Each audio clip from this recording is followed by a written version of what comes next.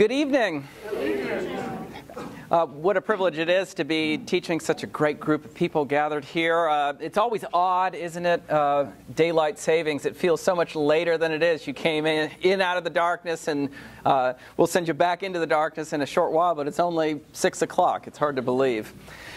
Uh, I'm uh, just thrilled to be with you all tonight talking about um, really a, a, topic that is of keen interest for me, uh, and the fact that others might want to hear it uh, is just uh, an added delight. So thank you for joining us tonight. Um, let me give a few thank yous before we move on. Um, uh, Celeste Pruitt. Um, uh, sadly, she, she's sick. A lot of people are, are sick right now. She's, she's ill, so she wasn't able to come and she didn't want to spread her germs, but she put a lot of work into uh, making tonight and as well as the Aletheia series uh, in general a reality. So thank you to Celeste. Emma Roddy as well, um, who works in you know events extraordinaire. She likewise has put in so much work in making uh, these events possible. So thank you to Emma, and thank you to Kelly Noonan, who's uh, uh, always working hard, publicizing things, recording things, getting the cameras working. So thank you, Kelly. Uh, your work is greatly appreciated. So uh, thank you.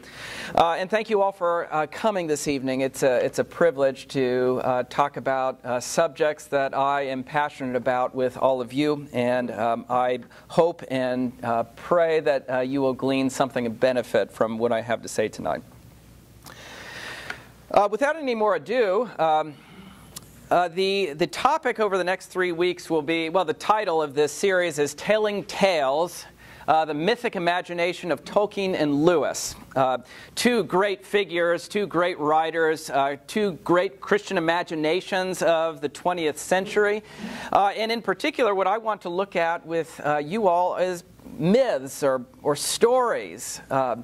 Uh, rather than the, the kind of brute facts that we spend a lot of our lives with, uh, what uh, these two figures uh, uh, did is that they told stories that appealed deeply to the imagination, that spoke of other worlds, uh, that spoke of the deeper truths uh, woven into our world in a way that, that actually connected with people who were far beyond the pale of Christian belief and practice.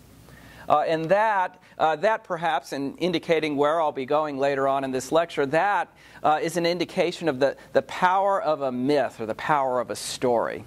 That it can captivate people that uh, are even hardened against the, uh, the truths of the faith. Um, might find themselves, well, what is it that uh, we get in Shakespeare's Hamlet?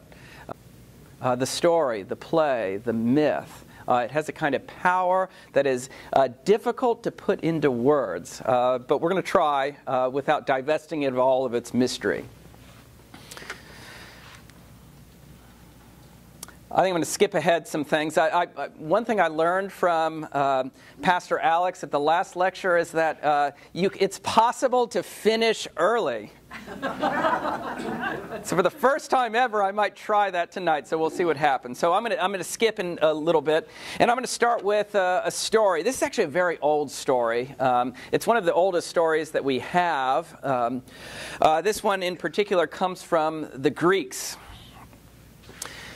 Uh, there was uh, a man named Orpheus. Orpheus, uh, he had a particular gift, which was the gift of music. He played the lyre and he sang, and when he, when he sang and he played his harp, uh, old men dreamed dreams, young men saw visions. Uh, the, the hearts of the hardest were melted because of an encounter with beauty. Now, uh, what, we, what we know now, I've been reading uh, a bit on the psychological development of the brain. What we now know is that uh, young children uh, develop the uh, capacity for music uh, significantly before they develop the capacity for language. And that's why, that's of course why we talk to children in uh, baby talk. It's not because they, under, they don't have, they have the vocab, vocabulary to understand what we're saying. Uh, it's, uh, we speak in these tones uh, that communicates far more than the words that we're using. I mean, often we just butcher the words, uh, make up all kinds of words, but they get the, the music of the words that we're speaking. And actually, in the development of their brains, uh, they go on to understand uh, language in a deeper sense only insofar as they first uh, hear the tone or the music uh, uh, behind the words. only then can they go on and really adequately understand the words in which we're saying, and they develop their vocabulary, which is a powerful thing. Now, uh, I suppose that when someone like Orpheus plays his music, uh, it melts hearts because in some way he creates some pathway down to that primal music that we all would have learned uh, from the voice of a mother or a father. So Orpheus, he plays his music, uh, and remarkable things happen. He has a gift. Uh, well, he was uh, playing his music for the nymphs and the people of the forest uh, outside of the you know civilized city. Um, and he captured the heart of a young, beautiful woman named Eurydice. Uh, it was love at first sight. Uh, and soon after this, uh, Orpheus and Eurydice were, uh, were married. Presiding over the marriage was Hymenaeus, who's the god of marriage, uh, who blesses their marriage and then gives a prophecy that the perfection which they currently enjoy uh, will uh, soon be lost. Yeah, I know. It's not a. Sometime later, uh, again, in the forest among the nymphs and the people who dance out in the forest under the silver light of the moon, uh, a young, rapacious man uh, sees Eurydice and begins to pursue her. And she flees from him and she flees directly into a nest of vipers, where one of the vipers strikes her upon the heel.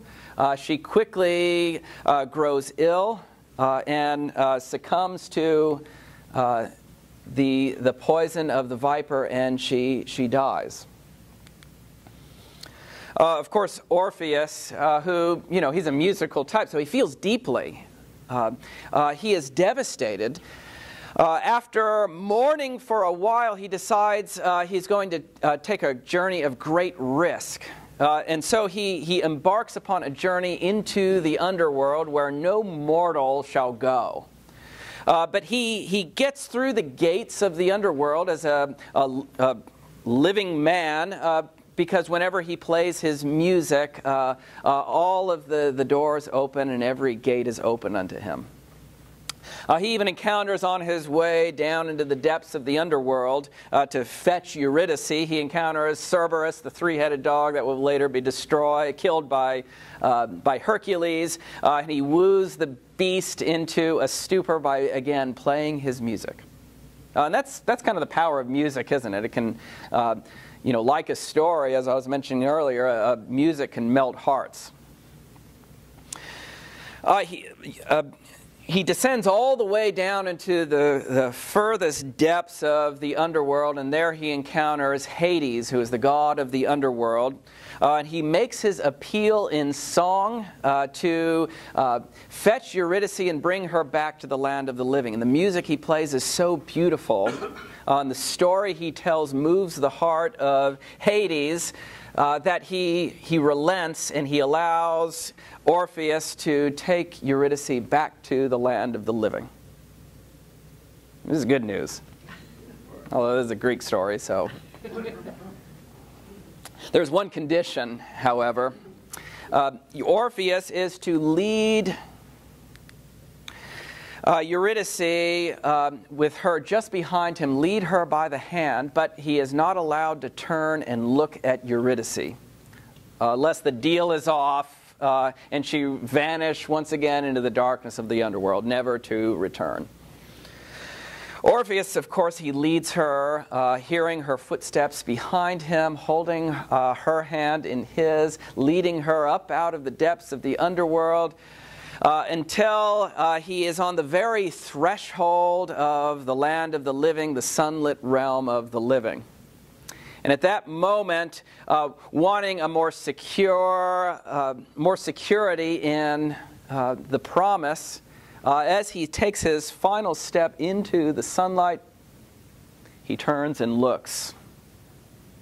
He sees her for one moment, uh, and she vanishes back into the darkness.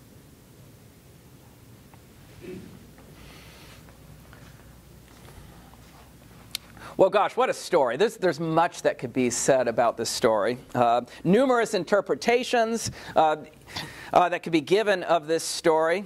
Uh, but I want to talk about what C.S. Lewis calls the tragic dilemma, which is, which is this.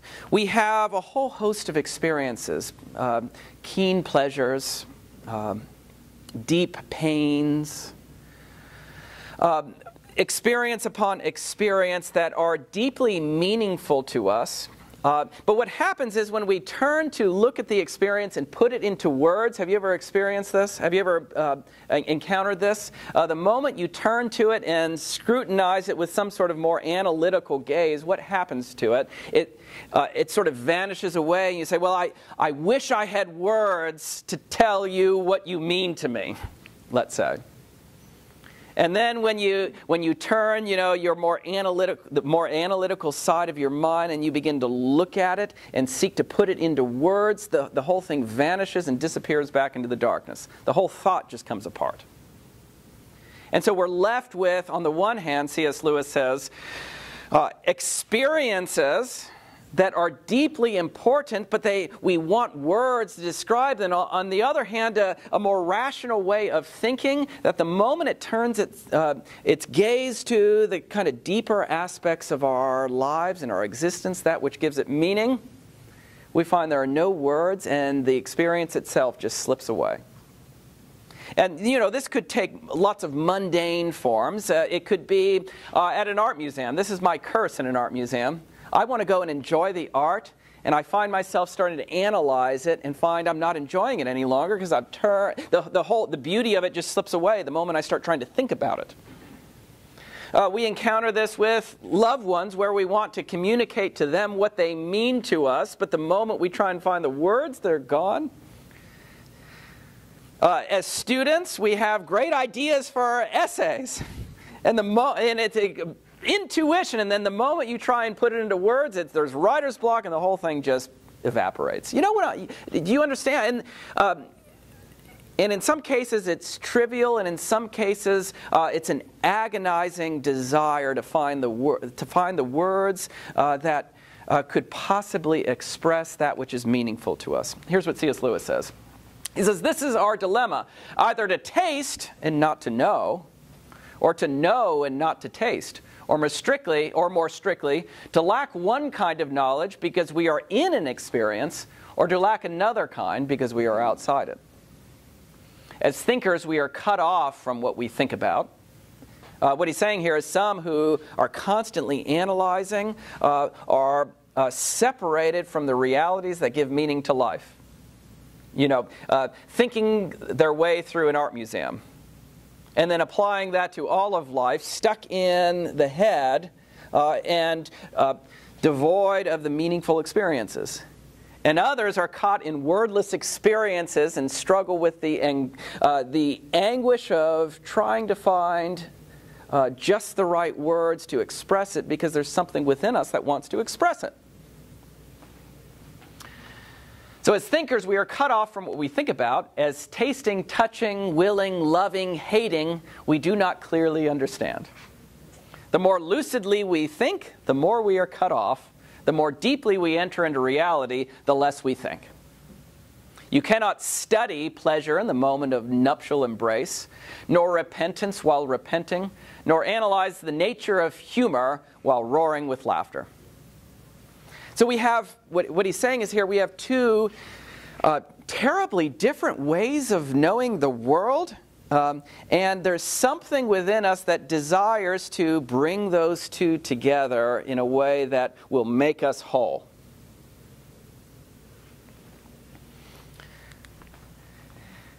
Uh, J.R.R. Tolkien, um, who we'll be talking about quite a bit uh, uh, this evening and uh, over the next few weeks, um, somewhere in the deep background of his, the stories that he told, and we're familiar perhaps with The Hobbit and The Lord of the Rings and those more accessible stories, but he had a deep tapestry of uh, mytho- mythology behind these stories.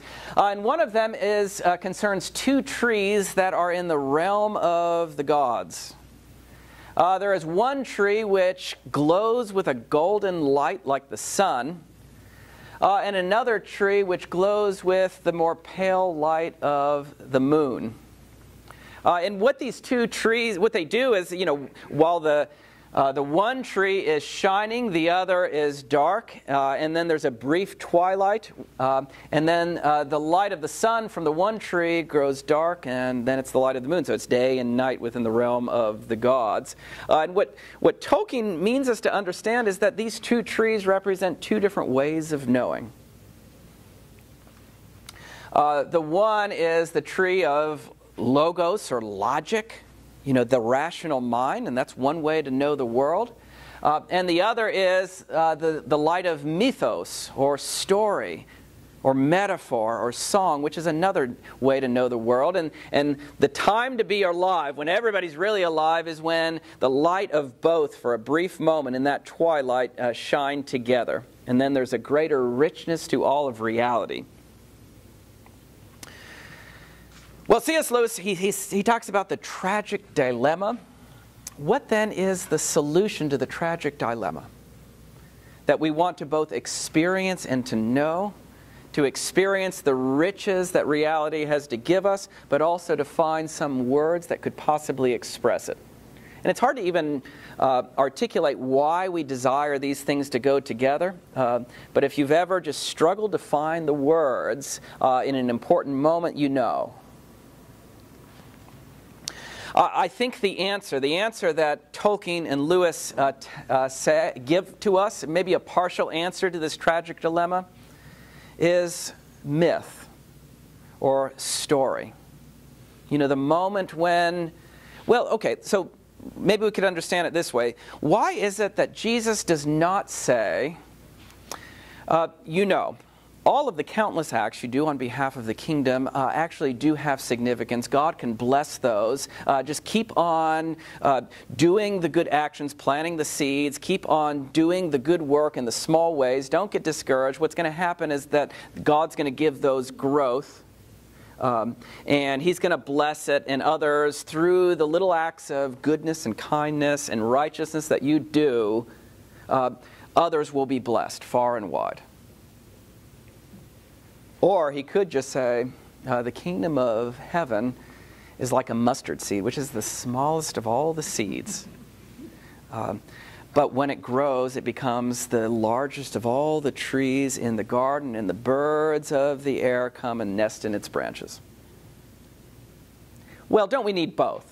You know, it's nice having a, a, story that has a kind of richness, a density to it that is sort of inexhaustible. Uh, and it also needs explanation. I would suggest that we could have both. So I'm going to risk something this evening. I'm going to risk the backward glance of Orpheus. I'm going to tell you some stories, and then I'm going to seek to offer some explanations. But it's, it's the story, the myth, that's the thing that unites uh, the two ways of knowing. And it's the power of a story. This is, I suppose, why, when he wants to elicit some sort of remorse from King David, who has um, taken another man's wife, killed that man, Uriah the Hittite, uh, and has, has uh, sought to also cover up his crime uh, so that nobody knows. Ultimate story about uh, a poor man and a rich man um, and how the rich man took the lamb of the poor man, slaughtered it, and sinned against him with impunity. And David's indignant. He doesn't know at that moment that he's indignant at his own sin, and then David, then Nathan can say, "You are the man." Don't you see? That's the power of the story. Okay. Uh, over the course of the next three weeks, we're going to be looking at uh, a number of aspects of the stories that Tolkien and Lewis have uh, uh, have given us. Today we'll be looking at uh, the story of creation, as we get it in C.S. Lewis's The Magician's Nephew and J.R.R. Tolkien's The Silmarillion, which very few have read. Um, it's only recently that I, well, I'll, I'll talk about that in a moment. Uh, next week, we'll be looking at the battle of good and evil. Uh, and third, we'll be looking at uh, the story of redemption. And I think what we'll find is, uh, in fresh and exciting ways, uh, these two men, Tolkien and Lewis, you know, these Oxford professors, uh, they told the old, old story of the Bible in a way that could uh, garner a fresh hearing from people who want nothing to do with religion. The power of the story. So we'll be sort of retracing the, the basic lineaments of the Christian story uh, as they come to us in these modern myth makers. Uh, first, a, a, couple of stories. Actually, one story and one uh, failure of a story. Uh, in Bede, uh, Bede's venerable, the Venerable Bede's Ecclesiastical History of the English People uh, needs a better title.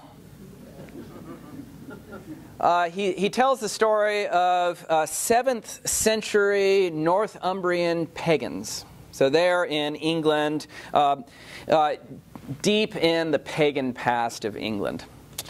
Uh, there is a, a, young missionary by the name of Edwin who goes to Northumbria, and his unenviable task is to go to the court of King.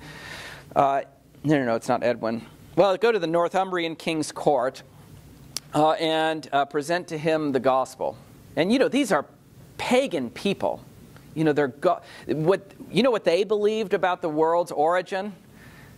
That, uh, that it, it, began with uh, a realm of ice and a realm of fire, uh, and somehow in the middle of the two grew a giant named Ymir. And then uh, some sort of heroic frost giant arises and slays Ymir, and out of Ymir's slain carcass begins fashioning the world. Like the, his, his skull becomes the dome of the sky, and his brain becomes the clouds, and his blood becomes the sea. I mean, just brutal. And, and the gods that they served were capricious, wicked, vicious gods who lived for only the glory of battle uh, and slaying enemies and then turning on their friends uh, for nothing other than the delight of violence. So they, that's what these people are. You imagine going to give the gospel to these people. Well, Edwin, uh, he, uh, he preaches the gospel. Uh, and the king and his court, they begin to confer and say, well, there's something, something to this. Uh, and then one of the uh, noblemen of the Northumbrian king spoke up to Edmund and said, and, and likened what he was saying, the story of the gospel, the story of creation, he likened, um, likened where they all were uh, to a sparrow flying uh, through a mead hall. So he says, um, life as we understand it is like this. Um, uh, a sparrow flies in out of wintry darkness uh, into one end of the mead hall, and for one brief moment, all is bright and warm until the sparrow flies out of the other end of the mead hall back into wintry darkness. Such is the life of man. For a short time he is safe from wintry storm, but after a little space he vanishes from your sight back into the dark winter from whence he came of what went before human life, and of what is to follow, we are utterly ignorant. If therefore this new faith, this new story that you have told us, can give us more certain knowledge, uh, then I say we give it a hearing. Uh, and this speech was enough to uh, prompt the, uh, the conversion of the king, all of his court, and all of the land of Northumbria. You know, whole people converted. Now, why is it? It's because Edwin showed up telling a better story uh, that gave more certain information, uh, but also gave, uh, uh, gave these people a sense of where they came from and where they're going. Uh, and that, that is the power of the story of creation that Christians have to tell. It tells us where we're from You know, we're not, we're not just floating randomly about on some cinder in an ever expanding universe that has no greater rhyme or reason to it other than it, it began with a, a bang and will uh, end in ice, spinning farther and farther and farther out into an endless, meaningless cosmos. That's not the story. The story is creation, coming forth from God, and then the purpose of life returning to Him. You see the difference? That's the, that's the story of creation. What's the story of the modern world? Uh, I don't know if you've ever read this, uh, uh, this play, Waiting for Godot. Uh, that's time, that's, you know, those are hours of my life I'll never get back. Uh, what is Waiting uh, for Godot about? Um, well, it's sort of like a, well, well uh, it's Seinfeld, you know, the show about nothing. Uh, this is about people talking uh, while they're waiting for Godot, who never shows up. And that's the story. Uh, and that, I mean, and it's a, it's a sort of obvious, I mean, it, it's excruciatingly obvious. Uh, that's what I say about literature I don't particularly like. Just say, oh, that's, that's a bit obvious. But it is, it's excruciatingly obvious. What's the story that it's telling? The, the, the entire narrative of Waiting for Godot is that there is no coherent narrative in the end. And why would there be? What is it that most people believe about the origin of the universe, the origin of our world, the origin of our species? Uh, it's that uh, there is a random chance that has somehow contrived uh, to produce this spinning globe upon which we live our lives that is getting ever and ever further away from everything else. Um, and eventually, you know, not just our lives, but even the life of our planet will just be snuffed out. And whether that's millions of years or billions of years, it doesn't matter, but it's surely going to happen. So here we are, you know, anxiously living our lives on this, uh, you know, spinning rock in empty space, you know, in the vacuum of space, trying to cobble together some sort of meaning in our lives that ultimately, well, eventually just the, uh, the bottom is going to open up and we're going to fall through and enter once again into, you know, what is the original reality, which is the void of space. And however our lives might be dressed up or uh, lived in distraction, you know, in our more reflective moments, if this is the, the story or the lack of a story with, with, within which we live our lives, uh, this is reality. Waiting for Godot, and Godot never shows up. The story of our lives is, well, we cobble some narrative together that ultimately will unravel. Now, most people who sort of live their lives in this way, most people will not pause to actually, in any sort of existentially serious way, reflect upon this. Uh, but this, uh, this is what underlies the, uh, the narratives that uh, people within a secular age live their lives. But what if what if you could tell a better story? And that story would be so compelling that well, gosh, on the, on the power of the story, you know, telling a better story, uh, on the power of that, people might give Christianity a hearing. Uh, that, um, despite their vast differences, that was the goal of both Tolkien and Lewis. Uh, to, as Emily Dickinson says, they're going to tell the truth, but tell it slant. On to Lewis. Uh, this evening I'd like to look at uh, Lewis's The Magician's Nephew. Uh, this is quite a story. It's the, it wasn't the first of the Chronicles of Narnia that was written, but it's uh, now numbered the first chronologically uh, in the uh, series of Chronicles of Narnia, which of course is about the magical land of Narnia, about Aslan the lion, who's the lord of that realm, and about human children who in each book are swept out of this sort of mundane world uh, on this you know, spinning rock uh, into a richer uh, world of Narnia on some adventure or other. Uh, some of you have read these, you know these, and uh, they're beloved stories. Uh, Magician's Nephew is about uh, just a kind of a wacky adventure of Diggory, uh, his friend Polly, Diggory's uncle, Andrew, who's kind of a mad scientist, magician kind of guy who finds a way into other worlds. Uh, along the way, they pick up uh, a wicked queen who, out of spite, destroyed her entire world and now sits in triumph upon its ashes. They collect her. They find themselves in London on a crazy adventure where, you know, this uh, evil witch from another world is trying to take over London. Uh, they pick up a cabbie along the way. And eventually, after all of these just I think it's his wackiest book, Crazy Adventures in London. They find themselves back in a different world that is total darkness all around them.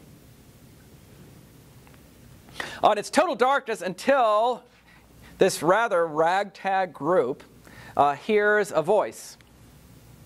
In the darkness, something was happening at last. A voice began to sing. It was very far away, and Diggory found it hard to decide from what direction it was coming. Sometimes it seemed to come from all directions at once. Sometimes he almost thought it was coming out of the, from the earth beneath him, beneath them. Its lower notes were deep enough to be the voice of the earth herself. There were no words. It was hardly a tune, but it was beyond comparison. The most beautiful sound he had ever heard. It was so beautiful he could hardly bear it. Uh, what he soon finds, uh, and what everybody soon finds as a little light begins to dawn, is that there is a lion who has opened his mouth not in a roar but in a song. And as he sings, things just start to happen. So here's what happens two wonders happened at the same moment. One was that the voice was suddenly joined by other voices. More voices than you could possibly count. They were in harmony with it, far higher up the scale, cold, tingling, silvery voices. The second wonder was that the blackness overhead all at once was blazing with stars. They didn't come out gently one by one as they do on a summer evening. One moment there had been nothing but darkness. Next moment, a thousand, thousand points of light leaped out single stars, constellations, and planets brighter and bigger than any in our world. There were no clouds. The new stars and the new voices began at exactly the same time. If you had seen it and heard it as Diggory did, you would have felt quite certain that it was the stars themselves that were singing, and that it was the first voice, the deep one, which had made them appear and made them sing what's happening is that the, the lion shows up into the void of darkness. And, and this time there's someone around to observe uh, uh, the, the creation.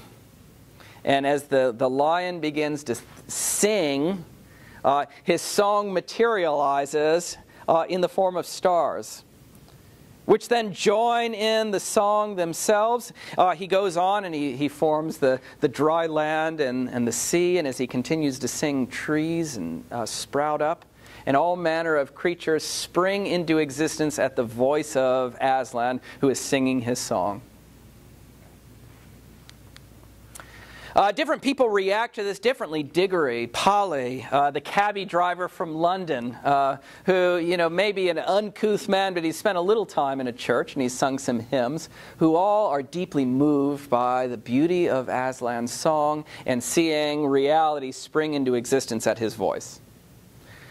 Uh, others, like Uncle Andrew, who lives only for his own selfish pursuit of power, uh, he responds differently. The longer and more beautifully the lion sang, the harder Uncle Andrew tried to make himself believe that he could hear nothing but roaring. Now, the trouble about trying to make yourself stupider than you really are is that you very often succeed. Uncle Andrew did. He, he soon did hear nothing but roaring in Aslan's song. Soon he couldn't have heard anything else if he had wanted to. And when at last the lion spoke and said, Narnia, awake, he didn't hear any words. He, only, he heard only a snarl. Uh, Uncle Andrew wasn't stupid in the sense of an IQ. Uh, he was stupid in the sense that he was not sensitive to the beauty uh, of what this Lord of creation had made. Uh, the, the writer, I can't remember the, uh, the author of Waiting for Godot, he wasn't stupid. Uh, but he, he, also he couldn't hear the song. Uh, so with Uncle Andrew. Uh, what about the witch? She, uh, she responds a little bit differently. Some, at some point in uh, the crazy adventure that she had in London uh, prior to being drawn into this nascent world, uh, she, in her superhuman strength, you know, she was like 10 feet tall, uh, strikingly beautiful, severe, and extraordinarily powerful. she had devised a weapon for herself out of a London lamppost and was swinging it around, threatening everybody, and she was still clutching to uh, this bar of iron as she swept into this dark world that is yet to be created. Uh, she is filled with nothing but repugnance uh, at the song that is sung by Aslan. And unlike Uncle Andrew, who just grows stupider and stupider, she knows exactly what has happened is happening. She knows exactly who it is that is singing this song and what he is accomplishing uh, by this creative song by which things spring into existence. Uh, left with nothing to do, with nothing else other than to take this iron bar that she has collected from London. She lobs it at, uh, with all of her might at Aslan, who spryly moves out of the way and it plants itself right into the ground you know, kind of uh, satanic rejection of the Creator. Uh, everything, however, is um, growing and creative at this point, so the, this bar of iron grows up and turns into uh, a lamp. And it is at this very lamp that, if you've read The Lion, Witch, and the Wardrobe, uh, this very lamp post uh, will first illumine the path of Lucy into the land of Narnia many hundreds of years later at the beginning of her adventure, which will end up with her destroying the very queen, uh, the very evil witch who first threw that bar of iron. Oh, something's happening there, isn't it? Even the rejection, the violence against the Creator can be woven into the Creator's good purposes so that uh, her very act of violence become the, becomes the means, uh, the, the light used to illumine the path of Lucy into this world that will eventually, through her efforts and through that of uh, her siblings and ultimately through Aslan himself, will lead to the defeat of evil. Astonishing. What was it that uh, Joseph said to his brothers who betrayed him? Uh, what you meant for evil, God has meant for good. Well, hang on, that's quite a story. Uh, a, a, number of elements really stand out. I'm going to really try not to be like Orpheus and turn around and try and put this in some kind of analytical gaze, but uh, surely we, we could pause and reflect upon uh, the richness of this imagery that underlying all of existence is a song? Have you not heard at various points of your life that song? Uh, the, the beauty of love shown to you by family. And when that melts your heart, isn't that hearing the song? Or the beauty of God's creation that you enjoy at moments where you know you're, you're driving over the Battery Creek Bridge and, uh, at sunrise uh, and you're arrested by the beauty of it, of the, uh, that early light dawning over the marsh. I mean, gosh, isn't that the song? Uh, isn't there a witness that creation itself has? Doesn't the psalmist himself say, Sing to the Lord a new song? You know, in, in that psalm, I think it's 46, he's not, or 146, he's not talking to human beings. He's saying, Sing to the Lord a new song, all the earth, to bear witness to us who are singing a very different song that we might repent and return to the Lord. Isn't there something within us who are perhaps waiting for Godot, or the many people living in, you know, uh, a world of brute fact? Isn't there a longing for a story that would give coherence to our lives better than, well, you become whoever you want to be on this spinning rock in an ever expanding universe, growing ever colder with each passing day as the heat uh, that we need for life just dissipates endlessly into the void. It's a different story. No good story can be told if we don't start with the story of creation. If we don't believe we have been summoned into existence by Almighty God, then no good story could be told.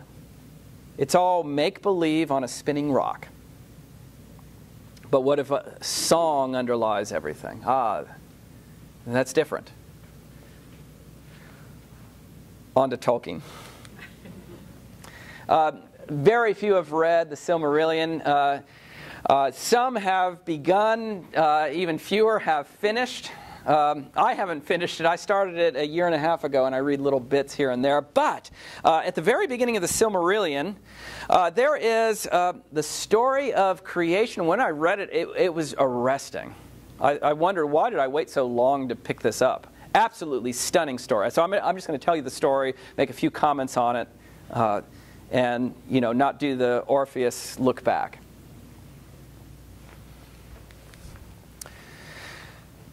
There was Eru, the one, uh, God, uh, who in Arda, I won't go into all the details, that's the realm of the gods, uh, is called Iluvatar, which means all father, or the father of all. And he made first the Ainur, the holy ones, they're sort of the angelic council, uh, who were the offspring of his thought, and they were with him before aught else was made. And he spoke to them, propounding to them themes of music. So he speaks to them in music, uh, teaches them how to sing. And they sang before him, and he was glad. Oh, what a beautiful image. I mean, this is uh, sort of a deeply Christian kind of thing. I mean, um, you know, God and his council, uh, with his council of angels whom he has created, and what is going on forever in the heavenly court, uh, singing. You know, holy, holy, holy is the Lord God Almighty. Isaiah hears glimpses of this in Isaiah chapter 6. Uh, but that's what's going on in this, um, uh, in this account uh, of Tolkien. And keep in mind, he's not trying to replace Genesis, uh, he's trying to illumine aspects of it. But for a long while they sang only each alone, or but a few together, while the rest hearkened.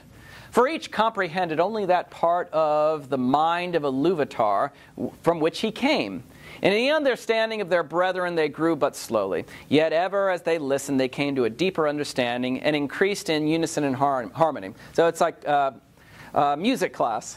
They're all learning how to sing. Occasionally, you hear uh, some harmonies emerge, and it's uh, they're improving in the song. Uh, but this is all preparation for what's to come.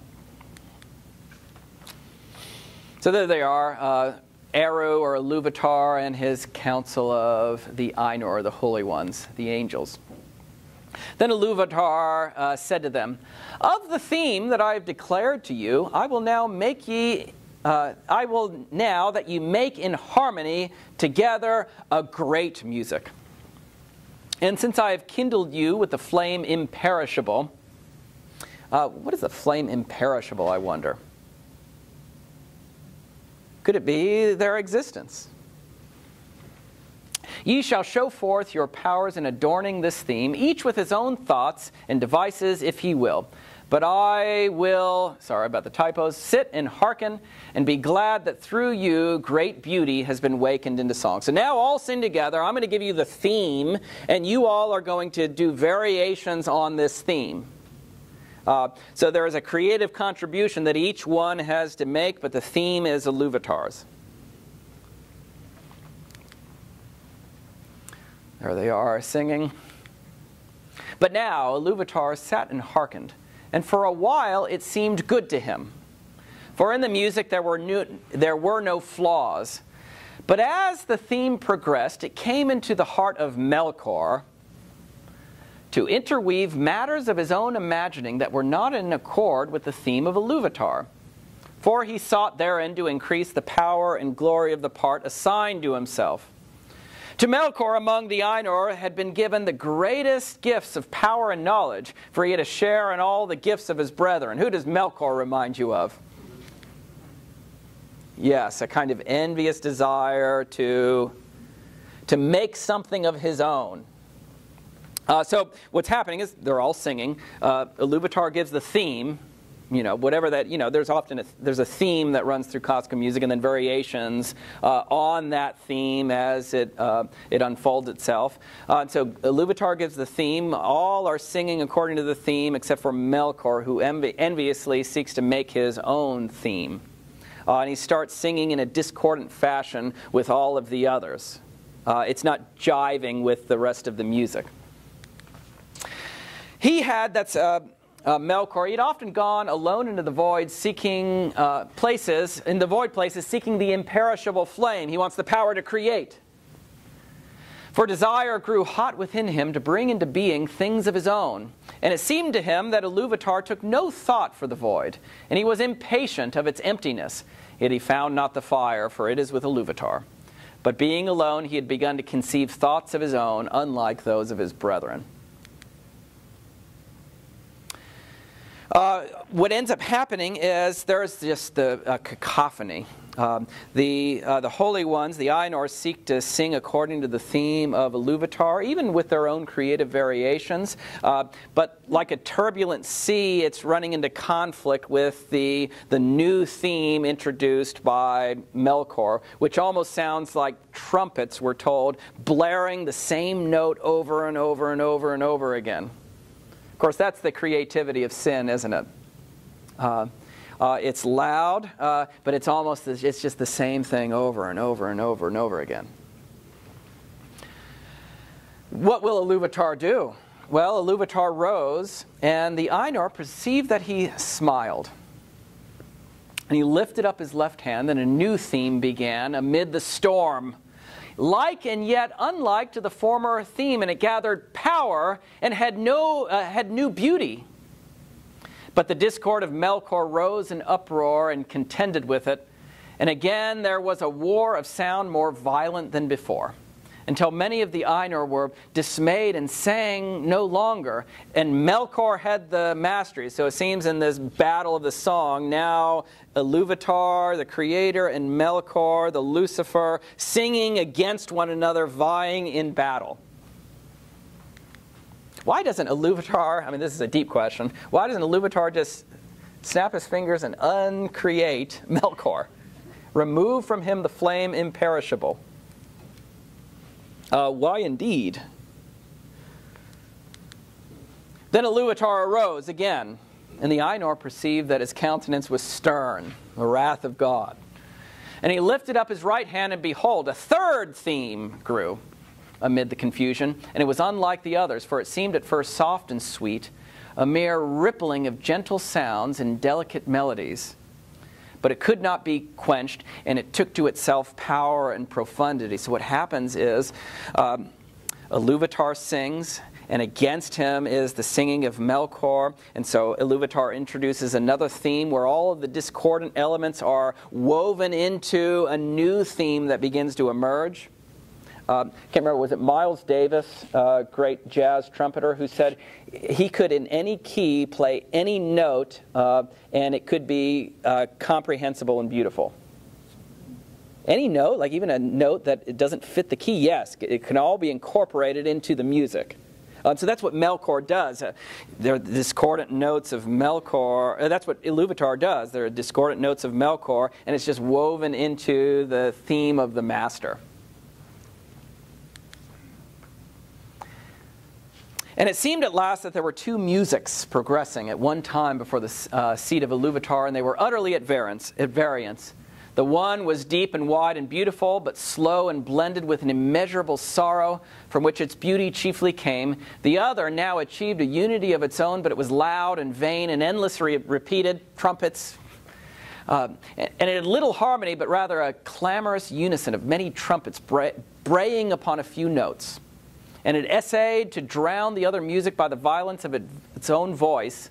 But it seemed that its most triumphant notes were taken by the other and woven into its solemn pattern. There's the singing.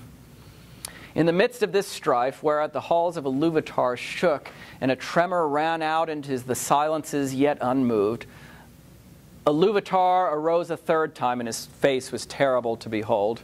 Then he raised up both his hands, and in one chord, deeper than the abyss, higher than the firmament, piercing as the light of the eye of Iluvatar, the music ceased. So, in one final note, all is resolved, uh, high and low, beyond any creaturely imagining. Final note is given by Iluvatar, and then the music ends.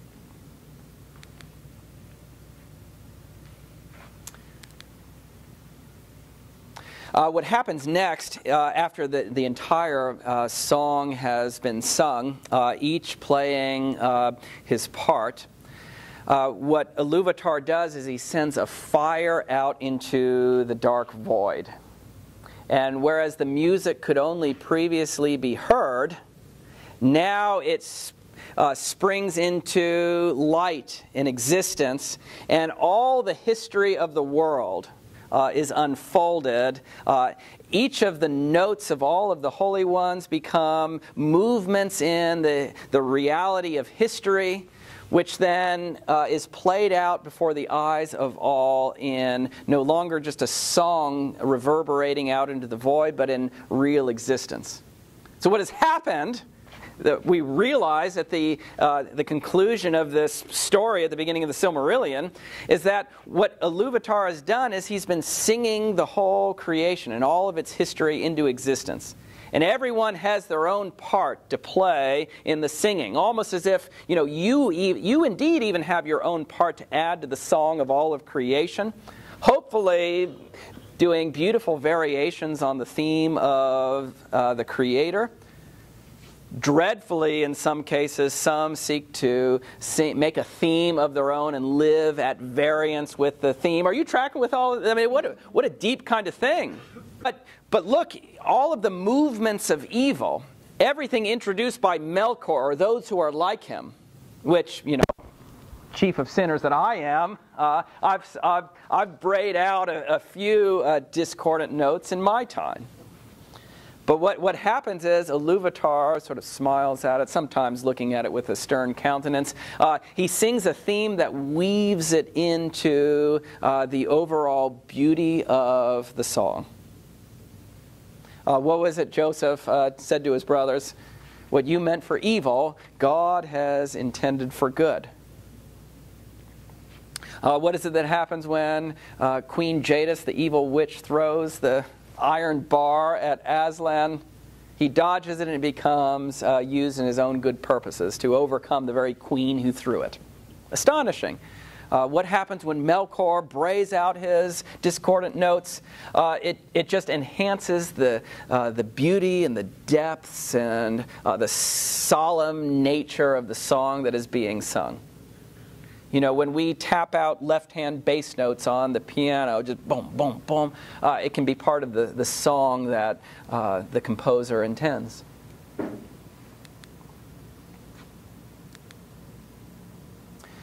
Uh, two stories of creation uh, both have a number of fe features common to it. Uh, I wonder if uh, we could just draw a, a, couple of points out and leave much of the story. I would encourage you to read the whole of uh, the, the, uh, the, story at the beginning of the Silmarillion. Um, I can send it out. There's a, in a PDF form, so you don't have to buy the book, although you could. it will amply repay any attention that you give to it uh, deep story. What, what can we learn from these two stories of creation told by these modern myth makers? I'm just going to draw out two points. I'm not even going to do the preacher's three. First, and, and you know these are what these are what we as Christians and what Tolkien and Lewis as Christians might have to say to those who are still waiting for Godot. You know the, the show about nothing. Uh, existence is not brute fact, nor is it random chance or just there. Uh, existence, but it's, a, it's, it's more like a song. You yourself, everyone you have ever met, uh, every beautiful thing you have ever encountered, everything that is, uh, is the result of the voice of God which has been spoken, or as these two would have it, sung into the void. What a difference does that make? Is it possible, living in a world such as this that has been summoned to existence by the voice of God, is it possible now to live lives of meaning? Is it possible now to tell better stories than waiting for Godot? Surely. Second, evil is. I'm, I'm going to pause there for a moment. Evil is. Um, it was Karl Marx who said religion is the opiate of the masses.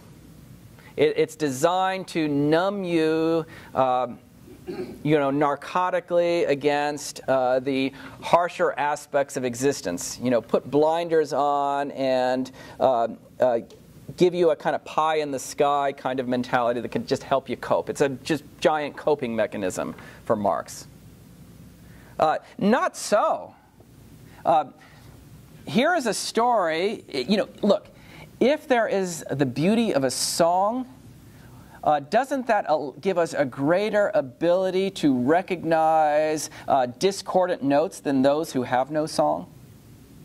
You see what I'm saying? If we believe in the good, doesn't that allow us a greater, deep appreciation of that which is evil?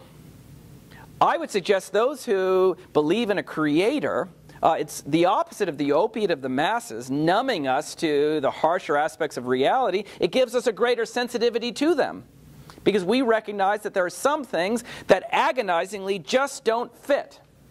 There are some notes within each of our lives, whether we've perpetrated them or they're against us, that have no place within a beautiful song that the Lord is singing. Sin, evil, suffering, deprivation, grief, all of these things are notes that uh, are at odds with that beautiful song that the Lord wishes to sing into existence. You, you, you see what I mean? And we can acknowledge that. But we don't stop there. We don't just say evil is. Uh, we also recognize that uh, it's woven into the song. Uh, what is it that Paul says? All things work together for good for those who love God and are called according to his purpose. Again, what does Joseph say? What you meant for evil, God has meant for good. Uh, this isn't a denial of the, the theme of Melkor. This isn't a denial of the hideous rejection of the Creator in that uh, iron bar that's hurtled through uh, the air to try and uh, destroy him. It, it, we can acknowledge all of that as Christians, I think Lewis and Tolkien are saying. We can acknowledge the evil that is within the world that befalls us, that we perpetrate. Uh, but we can also hopefully expect that in the end, a final note shall be sung. And this time by God alone. The curtains will close. Uh, this, the final note that will be sung will be as high as heaven and deeper than the depths of the earth. Uh, the human mind will struggle to take it all in, uh, but it will take all of the threads of the song. Uh, every thread shall be woven into, finally, the resolution that God alone will bring about, where all shall be well, and all shall be well, and all manner of thing shall be well. Well, I've gone from preaching. I think I've I think I've looked at Eurydice full in the face and she, she vanishes. But before that happens, uh, it's the song that underlies everything that these two have to say to us. What a remarkable thing. Uh, thank you for your kind attention. Um, I have just enough time uh, to dismiss you. I almost did it. Uh, I was looking at that clock, which is five minutes slow. So, uh, if there are any questions, I'll entertain a, a few of them. Um, before I send you back into the uh, daylight savings darkness. uh, any questions? Thank you. Thank you. Well, thank you all for your kind attention. You're a great audience. Couldn't ask for any better, so bless you. I really hope to see you next week. Um, it, it, really is uh, in the battle of good and evil where we're going to really hit our stride with what these two have to say. So I'm really looking forward to it. Thank you for coming tonight. Uh, see you next week. Uh, God bless you.